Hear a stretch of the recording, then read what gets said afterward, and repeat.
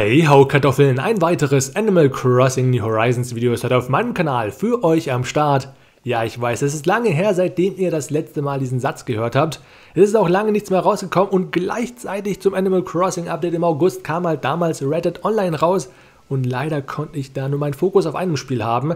Deswegen ist Animal Crossing etwas zu kurz gekommen. Aber jetzt am 30.09. geht es endlich weiter. Den ganzen Oktober über haben wir das Halloween-Event bis zum 31. Oktober, wo dann wirklich Halloween ist. Und der Trailer dazu ist gestern gedroppt. Den gucken wir uns einmal zusammen an. Erstmal ein grober Überblick, was alles neu dazukommen wird und danach noch eine Detailanalyse von ein paar Dingen, die euch wahrscheinlich gar nicht aufgefallen sind. Neben den Bonbons kann man sich nämlich hier ein paar Kürbissamen kaufen. Und ja, damit ist bestätigt, der Gemüseanbau kommt endlich ins Spiel. Mein tatsächlich meist erwartetes Feature direkt nach Coffee und seinem Kaffee. Aber das hier wird richtig cool. Eigene Kürbisse pflanzen, momentan nur Kürbisse, aber ich bin mir sicher, da kommt noch mehr hinzu. Daraus kann man dann wiederum was basteln und es gibt natürlich eine Menge neue Halloween-Outfits, sogar die Möglichkeit, neben den Klamotten auch seine Hautfarbe Halloween-mäßig anzupassen. Auch das ganze Rathaus wurde optisch verändert, natürlich zur Halloween-Season angepasst und Jakob ist natürlich auch am Start, der Prinz von Halloween. Noch dazu neue Emotes, wie ihr hier sehen könnt auch neue Kleidungsstücke für die Bewohner, wie zum Beispiel die kleinen Hörnchen hier und auch die Möglichkeit, Süßigkeiten an diese Bewohner zu verteilen. Und tatsächlich, da kommen wir auch schon zu der Möglichkeit, dass man jetzt sein Nuckling Phone auch noch für andere Sachen als für Designs verwenden kann, nämlich für die Möglichkeit, direkt vom Handy aus Emotes zu machen und dafür nicht mehr ins Emote-Rad zu müssen. Und das große Ding natürlich, Ende November kommt dann ein neues kostenloses Update und hier haben wir schon das Rentier gesehen und den Truthahn, was darauf deuten könnte, dass endlich mal ein bisschen mehr als nur der Kürbisanbau ins Spiel kommt, sondern tatsächlich richtiges Kochen und natürlich ein Winter-Update. Ganz klar, den ganzen Dezember über gibt es dann das Weihnachts-Special bis zum 24. Aber erstmal reden wir natürlich noch über das Halloween-Update. Und hier werde ich das Ganze mal verlangsamen, damit wir wirklich die ganzen Details mitbekommen. Hier sehen wir nämlich schon eine Menge Halloween-Möbel. Unten rechts sehen wir die drei Kürbisse übereinander gestapelt, in der Mitte den großen Kürbis-Torbogen. Links neben dem Grab sehen wir eine Kürbislaterne, oben links dann nochmal die drei Kürbisse. Außerdem neue Zäune, die aus Metall gefertigt wurden und die dann so einen kleinen Kürbis formen in ihrer Mitte. Und rechts haben wir noch so eine Kürbisvogelscheuche, die wir im Übrigen auch anscheinend bei Nepp und Schlepp kaufen können. Diese saisonalen Items sind ja nichts Neues, die gab es auch schon im Sommer, aber diesmal sind anscheinend auch craftbare Gegenstände mit dabei. Zumindest hat das den Anschein, dass man diese Vogelscheuche alternativ auch craften könnte. Was man sicher nur kaufen kann, das sind die Bonbons für 120 Sternis jeweils, aber nur einzeln. Oh Mann, da tut der Daumen weh vom ganzen A drücken.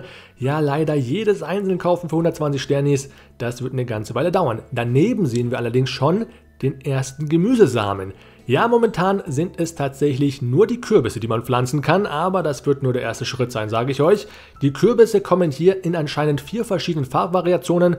Weiß, Gelb, Orange und Grün und auch in jeweils verschiedenen Stufen sehen wir die hier. Ich weiß noch nicht sicher, ob man die wirklich hier gießen muss, damit die schneller wachsen, aber es wird die erste Stufe geben, da sehen wir schon direkt, wo die Figur draufsteht, ist quasi nur dieses Bündel Gras. Daneben rechts haben wir so einen kleinen grünen Fleck, also quasi die zweite Stufe. Dann haben wir den großen Kürbis als einzelnes, dann die zwei Kürbisse nebeneinander und dann die drei Kürbisse. Also wird unterschiedliche Stufen geben und wahrscheinlich kann man dann auch den einzelnen Kürbis nehmen oder die zwei, wenn man noch ein bisschen länger wartet oder drei auf einmal. Und die wird man dann eben auch nehmen können, um Sachen zu craften. Wäre auf jeden Fall cool, wenn sich die Farbe der Kürbisse dann auch auf die Farbe der Möbel auswirkt. Aufgestellt wurde hier nochmal eine Kürbislampe, dann hier nochmal die Kürbisvogelscheuche auf den Stallbaren, sehen wir dann nochmal diese Kürbispicknickdecke, oben auf dem Fass nochmal eine einzelne Kürbislaterne, die gestützt wurde und hinter der Werkbank nochmal einen größeren Kürbis. Und hier sehen wir auch neue Klamotten, die natürlich Halloween-mäßig passen, die Hexenkleider. Gleich bei den Bewohnern neben dem Rathaus werden wir übrigens noch weitere Klamotten finden. Hier sehen wir übrigens auch die neuen Schuhe, so Bauernschuhe und natürlich die Möglichkeit, dass man seinen Charakter optisch verändern kann, auch von der Hautfarbe her. So ein bisschen Zombie-mäßig oder Mannequin-mäßig kann man den dann eben anpassen. Bleich wie ein Vampir kann er auch sein und auch unterschiedliche unnatürliche Haus, äh, Hausfarben, genau, Augenfarben. Hausfarben vielleicht auch, wer weiß.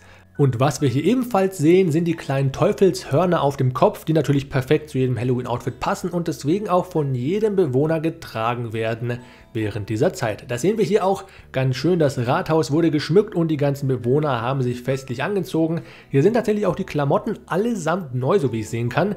das orangene Top der Katze, das schwarze Outfit vom Elefant und auch der rote Pulli vom Hundi. Sorry übrigens, dass ich die ganzen Namen nicht mehr weiß, ist einfach schon zu lang her. Und gleich, wenn wir noch auf den Charakter ranzoomen, werden wir auch kleine Fledermausflügel erkennen, die an sich nicht zum Halloween-Outfit gehören, also nicht zu dem Hexenkleid, von dem her kann man sich die wahrscheinlich auch nochmal extra kaufen.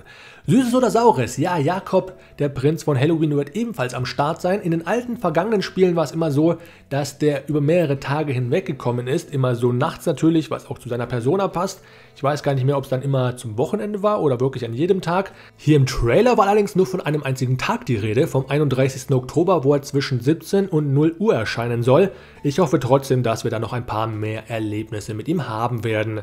Wir haben ja das zweite neue Emote auch noch gesehen und hier Victor nochmal, der uns nach einer Süßigkeit fragt und die können wir ihm geben. Hoffentlich im Austausch dann gegen neue Möbel, Klamotten oder vielleicht sogar Rezepte, die dann zu Halloween Season passen. Ja, das war so ziemlich alles Neues, was wir aus dem Trailer ziehen konnten. Ich hoffe, es war noch das eine oder andere Detail neu für euch dabei. Natürlich dann das Spannende, dass man äh, nicht nur sein Handy verbinden kann mit Nooklink, das ist eher so eine Kleinigkeit und ich habe nicht unbedingt Bock, die ganze Zeit mein Handy neben der Switch offen zu haben, aber natürlich dann das nächste Update Ende November dann, was perfekt natürlich in die Winterzeit überführen wird und wo wir dann hoffentlich auch die Möglichkeit haben werden, tatsächlich Essen anzubauen und damit auch richtig zu kochen, also Essen zu craften quasi. Bin ich schon sehr gespannt, würde auf jeden Fall passen zu den beiden Charakteren, die da angeteased wurden. Ich verabschiede mich auf jeden Fall an der Stelle erstmal. Ich hoffe, ihr seid mir dann wieder wohl gesonnen. Ähm, Ende September da, Anfang Oktober wird es dann wieder abgehen mit ein paar Animal Crossing Videos auf jeden Fall. Da ist auch bei Reddit gerade nicht mehr so viel los, deswegen passt das zeitlich perfekt. Ich verabschiede mich erstmal, haut rein, macht's gut, bis zum nächsten Mal, cut und ciao. Boom. Ba -ba boom. Ba -ba -dum -bum. United Potatoes, United Potatoes, Potatoes, Potatoes, United Potatoes.